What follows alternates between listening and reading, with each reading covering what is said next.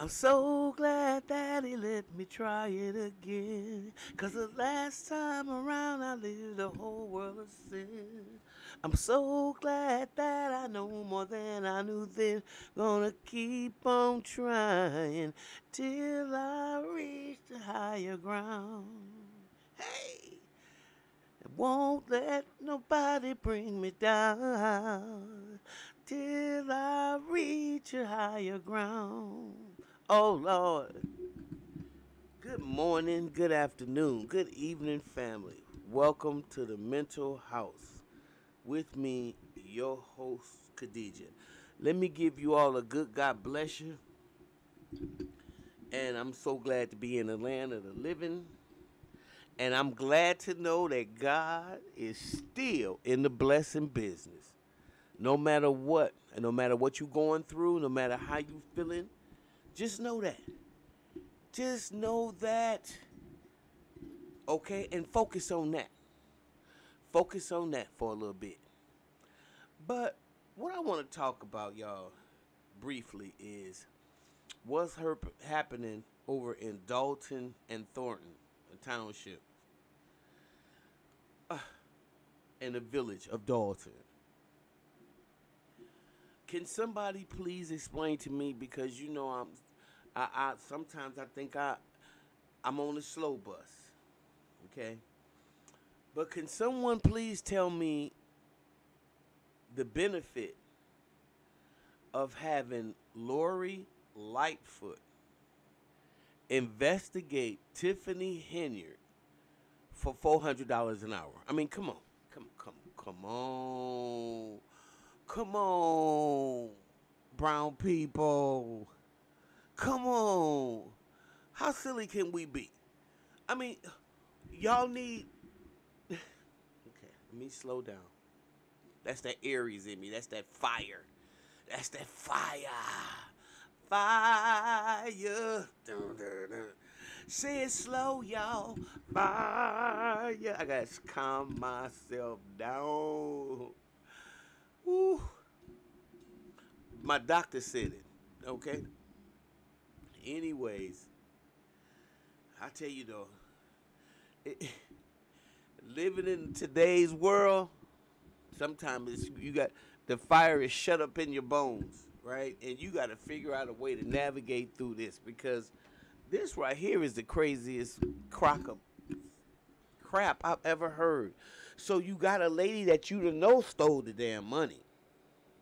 You know Tiffany Henyard has done everything she been accused of. Damn all that she innocent until proven guilty. You know you had a surplus of whatever before she got in there. And you know you now you a seven million dollar deficit. They going out of town. They spending money on personal billboards. They uh, she's the notorious pathological liar. I mean that was just proven by watching Roland Martin when she sat there and said that the Tiff she's the face. Somebody must have told her, and she's so slow. She definitely on the slow bus. That she didn't hear them say you can just say that. I don't think they thought she was gonna say it on national TV uh, after we done saw her say, I'm gonna talk about something that's near and dear to my heart, and that's cancer. Um, as we know, a lot of people are struck by cancer. I mean, come on, somebody help me. And y'all want to know why I call this the mental house? I'm thinking about changing it to the insane asylum. What the? What in Sam's tarnation is going on?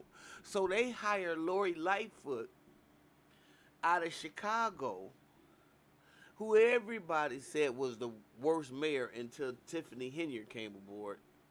And the one they got now, Johnson. Sometimes you better be careful what you pray for.